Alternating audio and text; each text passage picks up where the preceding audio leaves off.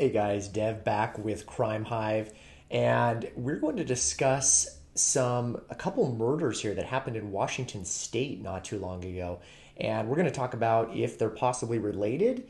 If they're not, we still may have a killer out there, uh, possible serial killer, and and so we're going to talk about that.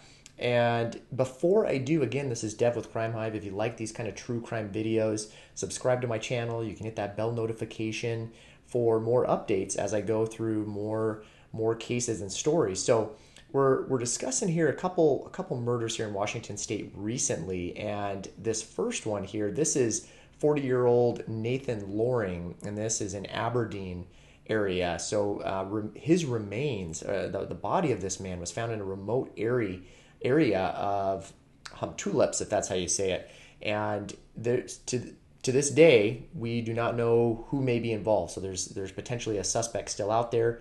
Um, there could be more bodies. We don't know right now. Could be a serial killer.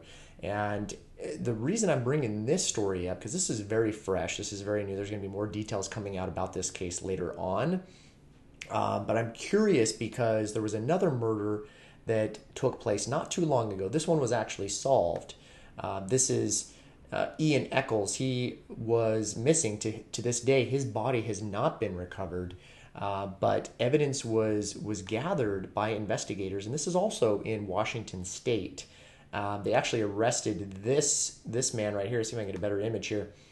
Um, his name was Jorge or George Al- Alcantara Gonzalez, and and so he um, evaded law enforcement deputies for 23 days. And that's another part we're going to talk about at the end are these survivalist type fugitives that have, have been able to evade capture from law enforcement for, for years, sometimes years at a time. So we're going to talk about that a little bit. But what's interesting here is uh, police gathered enough evidence to, to determine that he murdered Ian Eckles and he was arrested. Uh, the area is not too far away. It's, it's about three hours. So I'm going to minimize this here. So the, the two murders both take place in Washington State. This one's in the Aberdeen area. Uh, the one where Jorge was arrested uh, was about three hours away in Liberty, Washington. So this is in Kittitas County, Kittitas County, uh, mountainous area. And then you got another rural mountainous area over here near Aberdeen. Uh, just to give you perspective, Seattle's right here. Uh, you got Olympia, and then, so it's about three hours away, possibly related. Don't know yet. It's still pretty early on with these investigations, but I think it's important to, to, to bring it up. If you guys have more information, if you happen to be in that area, um, certainly uh, contact authorities because these are, these are these are still fresh cases. So, um, if you guys don't know, this one uh, still unsolved. Again, we've got uh, what happened with this story was uh, Ian Eckles here was was actually he was he's a hunter. He was actually going to meet up with some friends, and he just went missing, just vanished. Uh, didn't show up for work. People called in. They were called police because they were concerned, and he uh, had a vehicle. This vehicle right here, this Toyota, and people saw another person driving his vehicle. So. Um, they started connecting the dots, and then they actually found this vehicle dumped. And I and I believe forensics um, investigators found enough evidence, forensic evidence, to determine that he was murdered. So even though his body hasn't been found, they have evidence to believe that he was murdered.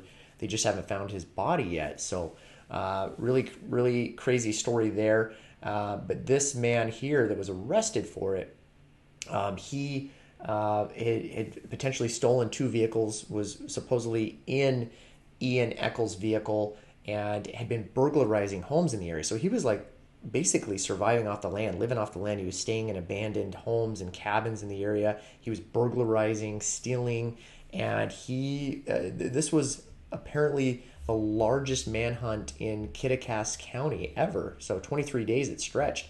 Even with all the high tech equipment that's used nowadays, it's interesting that he was able to evade him for so long. So that's the other point I wanted to bring up uh, is is the survivalists. And I, I found another article here. This is just really interesting here. If you guys might be familiar with some of these other cases, um, some of these are a little bit older, but what we have uh, this to give you an idea of some of these these older cases. You've got convicted murder uh, Eric Rudolph, who famously invaded authorities for five years while hiding out in the North Carolina mountains. So Uh, really crazy, five years, and and and so you've got another. Uh, we're talking about this one here, Eric Frein. He um, had gunned down some some Pennsylvania state troopers, I believe, and um, he was a survivalist, knew how to live off the land, um, and was able to invade them for for some time, for for years too. So this is a picture of him. Um, and then there's other cases this article talks about. Article talks about, and I'm going to show a little video. and We're just going to kind of talk about that, and then we'll wrap up this video. But uh, you've got another one here, uh, Troy James Knapp, and so I'm just giving you these as some examples. You guys can look up some of these cases on your own as well. He was known as the Mountain Man, and was literally in the woods in Utah on the run for six years, and he was sleeping in a tent and killing wild animals for food.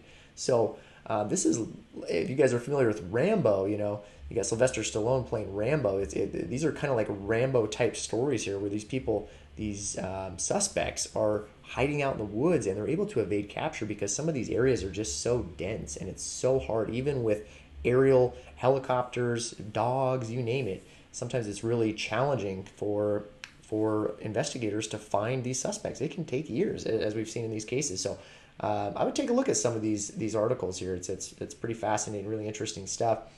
Robert Fisher is another one. Uh, you know, these people are considered survivalists and you know skilled hunters, outdoorsmen, and so that's what I'm gonna I'm gonna play this little video here. I think this will give a good uh, kind of perspective on it, and and then we'll just take a look at that and discuss that as we go. We can get this enlarged 500 here if I police can. officers from four states, the FBI, and the Navajo Nation to find two heavily armed men they have been pursuing for more than a month. The fugitives are wanted for killing a policeman. It is believed that the men are still in the area referred to as the Four Corners, where Arizona, New Mexico, Colorado, and Utah come together. It is the same hostile terrain where Butch Cassidy and the Sundance Kid successfully hid from the law at the turn of the century. Emphasis on hostile territory. ABC's Judy Muller recently joined the manhunt for long enough to know that the men they are looking for have an edge. ABC article here discusses this. near Cortez, Colorado. Police officer Dale Claxton is mowed down by automatic weapons fire after pulling over three men in a stolen water truck. Police give chase but find themselves outgunned. it's pretty hard to stop an automatic weapon with a with a pistol. I don't think there's anything we could have done. The fugitives, so-called survivalists who know So that's interesting here. Uh, some of these people too that are evading law enforcement, they're using some pretty high tech uh, gear, weapon weapons, and um, they've got plenty of ammo, and and they just they know how to live off this land. So. Uh, you know, you, you do have officers nowadays equipped with more long guns, shotguns, rifles, that sort of stuff. But uh, if you guys remember some of those other cases with bank robberies uh, back in California, some of those famous ones there where they were wearing body armor and they had long guns and they were just outgunning police. Police just couldn't deal with the situation. I mean, it was it was a chaotic scene. And maybe I'll pull up that video or link that below just to give you guys an idea. So, uh, so you, you've got that going on, and then we'll just continue. and We'll kind of discuss a little bit. It's not too long this of a rugged video. country well escape on foot. The next sighting, six days later outside Bluff, Utah. Suspect Robert Mason, holed up along the San Juan River, shoots at a deputy and is later found dead of a self-inflicted gunshot. Hundreds of officers join in the search for the two others, Alan Monty Pilon and Jason McVean. Despite high-tech surveillance from the air and skilled Navajo trackers on the ground, the trail goes cold. Then, three weeks later, in So that's interesting. You've got Navajo people, uh, they, they, they're experts on tracking, and they still can't seem to figure out where some of these fugitives are. Uh, really interesting, and, and they're going to discuss some of the things that they did to evade capture. So I, I just I feel like it's a really interesting video. Uh, you know, it- again, pretty uh, pretty crazy that they can they can go that long. the town of Montezuma Creek, avoiding detection. A. Navajo girl spots the two men lurking around a water truck in this area, and the search is on again. Temperatures on the desert floor reach 110 degrees, burning the paws of search dogs, which are already having a tough time tracking the suspects. They're doing is going back and forth into the river. And our dogs and now are losing the scent once they go into the river. There are bound to be people who say, well, how in the world could they have been in that same area, that same river area, all this time and not be found? Well, what you need to do is go back here a few miles, go out towards the river there and take some pictures of that, and you can see how thick it is. And so we did. The San Juan River is lined for miles and miles with heavy brush along. So some of these wooded areas, as they're showing it here, it's just so dense. It's so difficult for um, anybody to navigate through there, especially if you're looking for someone. So one of the things they did that we just saw was they were um, they were you know they were traveling through these riverbeds. Uh, dogs can't track that uh, if they're going through these riverbeds and then they're hopping on rocks and and uh, and we're going to see more of what they did. But it's it, it's uh, this is a way you can see it's so challenging and that and, and the reason I'm showing this I want to give you perspective on the the case that I just mentioned where Jorge was captured. I mean he evaded him for 23 days so. Um, he he was potentially doing similar things uh, to to evade capture as well. So I just want to give you guys a good idea, a good a, a better visual of all this. On both banks, thick willow and tamarisk trees, Russian olives with sharp thorns, brush so dense that you almost can't see a person until you're nearly on top of them. In an effort to level the playing field, deputies set fire to several miles of brush. Wow. But that fails to flush out the suspect, Even and set the search fire. is again suspended. Couldn't capture So them. how long can these fugitives hmm. hide out in this rough terrain? It's incredibly easy to hide, and especially if you have preparation time. Throughout history, these canyons have served as hideouts for outlaws. Historian and guide Fred Blackburn says McVean and Pilon most likely know how to purify water and find food. Hmm. Edible plants can be found along small streams that feed the river. Just interesting. So they're they, they're literally finding food off the land, killing animals, uh, purifying water. I mean, they're they're essentially camping, uh, but but also surviving at the same time. And, uh, and they bring up a couple other important topics here. And this video is almost over, but I just uh, I thought it was really interesting That's for not you all. guys. Let me know what you guys think about this video. on my toe.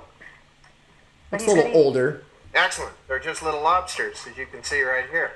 The fugitives may hide their tracks by moving in the river at night and then before daybreak walking on rocks up the canyon rim Just into talked cool about that. caves hidden from view. As we step into the shade, we lose 10 to 20 degrees. It cools off for us. A pack rat nest provides a perfect spot for setting traps, so the men would never have to fire a gun to kill their food. The rodent hits that snare and chokes to death. There's no noise, and you've got Snaring animals. This hideout, which is Rambo almost type impossible stuff to here. see until you're in front of it, was used for months by a man wanted for murder. Blackburn says these places give fugitives an advantage because they can see and hear their pursuers approach. They're going to know what sounds are out here from the birds and that kind of thing. When those sounds stop, or you've got a warning call from a bird, uh, the noise of the helicopters, all of that kind of stuff, they're going to hear you coming. The man who lived in this cave eventually gave himself up. How long could Pilon and McVean hold out? The only thing that would keep you uh, out of here is This if, is if you interesting. missed people so bad you had to go back. You could stay here as long as you wanted. In other words, the pursued have a distinct advantage over the pursuers. Really interesting. So uh, this guy is basically saying that he was kind of a guide, expert in wilderness uh, survival and that sort of stuff. Um, talks about you know, hey, these people could you know basically live out here as long as they want until they decide to give up, or you know maybe they run out of resources. But it seems like some of these people can continue to utilize their resources as long as they want, uh, as long as they don't want to be around people and they want to survive out the land. I- mean, they, they could essentially avoid capture for uh, you know, as we've seen, several years. So just wanted to play that. Let me know your guys' thoughts on that. Um, anyway, I'll still continue to give developments on this case as we continue through, because again, this one not solved. Uh, it's, still a, a very fresh, open case. I just wanted to see if there was a similarity to the other case, seeing if you guys were even familiar with these. And uh, let me know your thoughts below. Comment, let me know. And again, this is Dev with Crime Hive. I'll be back with another video soon. You guys take care.